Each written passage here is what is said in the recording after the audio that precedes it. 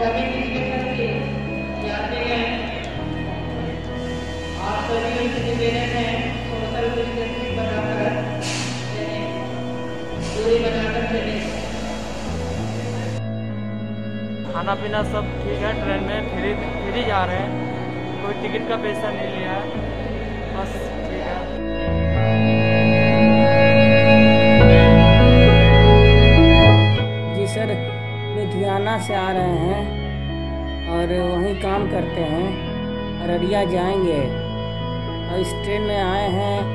Ticket भाड़ा नहीं लिया भारतीय रेल और खाना भी दिया। बहुत अच्छा से किया।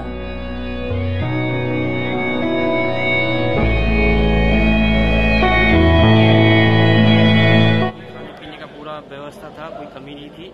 सब जगह जो है खाने पीने का दिया था हर टाइम में।